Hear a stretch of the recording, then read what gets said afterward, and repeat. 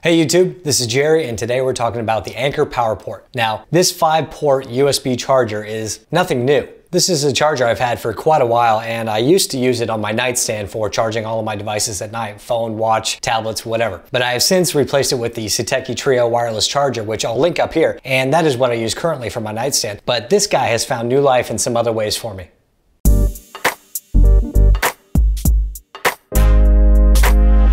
These are not the newest chargers, and I would definitely label them an oldie but a goodie. I've had this for quite a while, and my uses keep evolving, but the bottom line is I keep using it. This Anker power port can do up to 60 watts of charging. The power delivery port on the top can do 30 watts on its own and can charge a number of things from a MacBook Pro to an iPad Pro to phones using USB-C or even an iPhone using a USB-C to lightning adapter.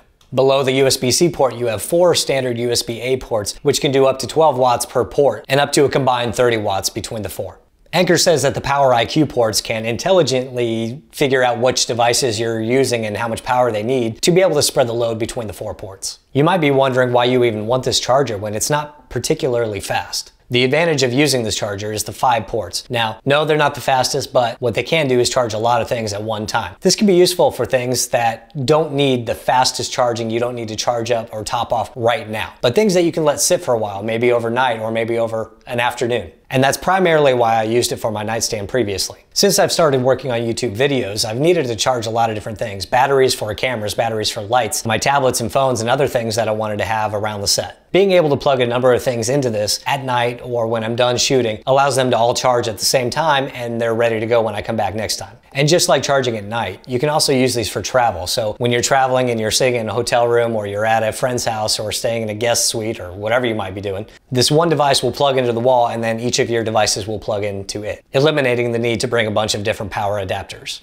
The Anker power port comes with a six foot cord so you can set it behind a nightstand or behind a desk or wherever you need to in a hotel room. It also comes with some adhesive strips that you can use to attach to the back of it and then stick it to the back or underside of a desk or nightstand. And you have the option of getting them in white or in black. I think the full advertised price from Anker is somewhere around 45 or $50. However, you can frequently get these on good sale prices from Amazon. For example, I got this black one just the other day for about $32. At $32, being able to charge five more devices at the same time is pretty convenient. So the Anker power ports are not the newest devices or the fastest devices. Anker now sells the newer GAN powered devices with the Atom labels that are faster and higher wattages. However, even the PowerPort Atom 3 only has four ports, so it limits the amount of devices you can charge at one time, although the wattage for the power delivery port is actually higher. So if you have a lot of devices that you need to charge at one time and you're not particularly concerned about the speed of the charging, then I would definitely recommend that you pick up one of these five port chargers from Anker. They work well, I've had no problems with them. The six foot cord allows for a lot of placement options and the